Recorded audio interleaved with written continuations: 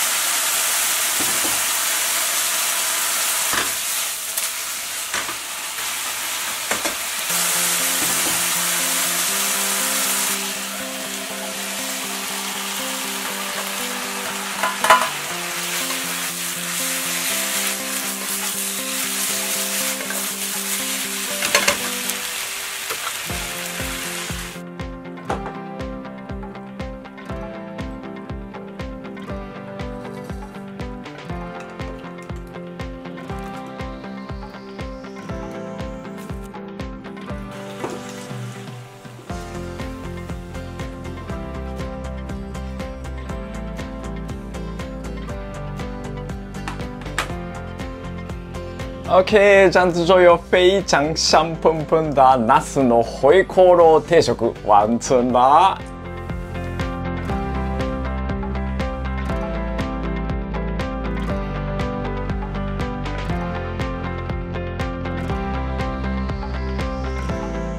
好了，那么我们就赶快开始吃喽！哦，今天的铁食锅也是非常的丰富，现在就闻到很多这个料理的 香气味道。我先要吃这个肉片，另外一个主角就是ナス、茄子一起吃吃看，对吧？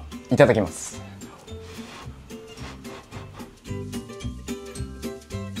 哦，嗯。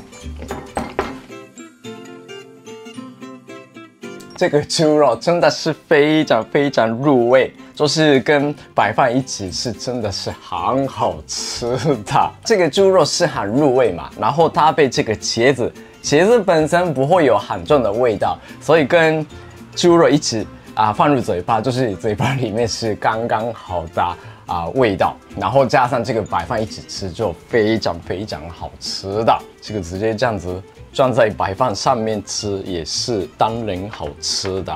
OK，哇，那什么味噌汁茄子的味噌汤，使用茄子做的味噌汤真的很简单，你只要丢在这个高汤里面啊煮一煮就好了。不可以吗嗯，这个也很好。它是比较有这个温和的口味，可以享受这个啊茄子本身的味道，还有那个嫩嫩的口感的。然后另外一个就是茄子的植物，这个做法啊，日文叫做啊西欧莫咪，就是用到盐巴，然后稍微。揉一揉，把那个里面多余的水分挤出来再调味的，它不会有那个酸酸的，像一般我们吃的 tsukemono 植物的那种的调味方式，就简单加入一点啊酱油，然后加柴鱼片，然后淋一点啊麻油，这样就够了。然后后来我有想到，其实这个也是可以加一点点甜味，所以后面我有啊再铺一点那个砂糖，所以这个甜味是加不加都可以的。所以茄子本来其实可以吃生的，做出来的植物也是一定是好吃的了，对吧？いただきます。哦，嗯，这个也蛮好吃的。它的呃个性跟这些啊，像这个拌饺还是做汤啊，完全不一样。直接这样子吃的话，还是可以享受一点点的脆脆的口感。比较单纯的样子调味的话， 也是可以。啊，享受这个茄子本身的味道。好了，这次介绍的料理也是非常的简单。那这一次做的这个回锅肉原本是中式料理嘛，那我这边做的方式可能跟啊传统的有一点不一样。这样子做出来这个拌饺料理是效果非常好的。那肉片啊改成其他的，像牛肉还是羊肉还是鸡肉也可以，反正你要菜跟肉。分开加热，然后最后混在一起，这样的话，你可以享受很多这个啊菜还有肉的，有一点那个焦的香气味。现在是刚进入秋天嘛，可以买到很多好吃的那是茄子，所以如果各位有兴趣的话，可以做做看。谢谢。